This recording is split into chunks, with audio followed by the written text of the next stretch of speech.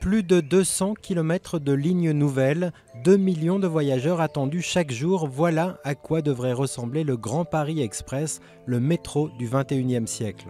À 6 ans des premières mises en service, les architectes planchent sur la conception et l'identité des nouvelles gares, 72 au total. Une charte d'architecture et de design a été spécialement élaborée.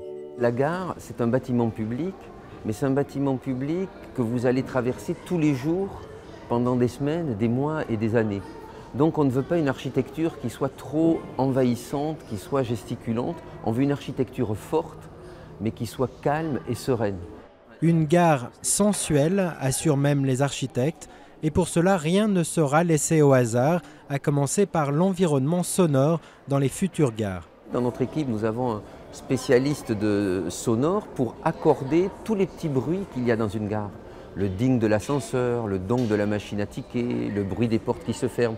Généralement, c'est laissé, chaque objet technique vient avec son son. C'est très facile de régler ses sons pour qu'il y ait une harmonie. La lumière aussi fait l'objet de toutes les attentions. Elle doit être la même dans chaque gare malgré la diversité des architectures. Sur les quais du futur métro, la façade sera un élément clé, interactive et intelligente, nous promettent encore les architectes quand le train arrivera, elle se mettra en mouvement et elle donnera des informations en disant voilà le train va arriver, mais aussi par exemple elle, pourra donner les endroits où le train est plus libre, où il y a des espaces plus libres dans le train que dans d'autres endroits. Mais tout cela reste encore à l'état de maquette exposée depuis la mi-décembre au pavillon de l'Arsenal à Paris.